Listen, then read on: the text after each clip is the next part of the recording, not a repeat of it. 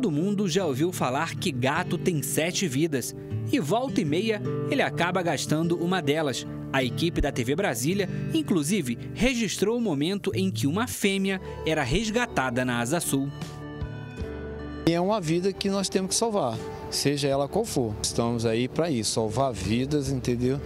E a qualquer momento, é 24 horas por dia, independente de qualquer animal, qualquer ser humano. O resgate foi bem sucedido, mas ao cair na rede, a gata quebrou uma das patas. O corpo de bombeiros não tinha para onde levá-la e soltou na quadra. Foi aí que a nossa equipe resolveu seguir com o animal até uma clínica veterinária particular e a saga continuou.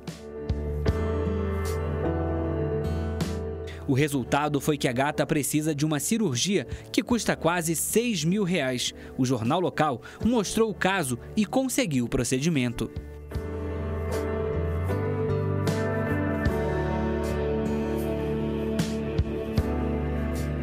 Depois da consulta, procedimento feito, agora ela vai ficar aqui aguardando a cirurgia. O que, que você fez ali na perna dela? A gente faz uma bandagem de conforto, né? Como o animal está com o membro solto, o osso está solto, e aí isso causa um desconforto para o paciente. Então a gente faz uma bandagem de conforto que ela fica até o dia do procedimento cirúrgico. Pelo menos dor ela não vai sentir, né, doutor? Não, de jeito nenhum. Mas nem todo animal tem a mesma sorte que a neguinha, ou até teria se o primeiro hospital veterinário público do DF tivesse saído do papel. O governo da época prometeu entregar a unidade em julho de 2014, mas até hoje nada foi feito. Enquanto isso, milhares de cachorros e gatos vivem abandonados nas ruas do DF.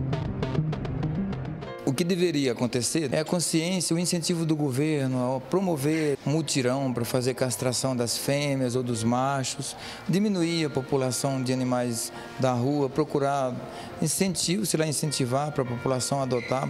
Alguma coisa deverá ser feita nesse sentido.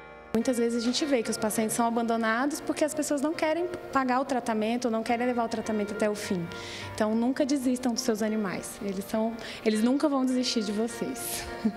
e também talvez encontrar um novo dono ou uma nova dona, né? Porque eu acho que alguém ficou muito tocada com a gatinha.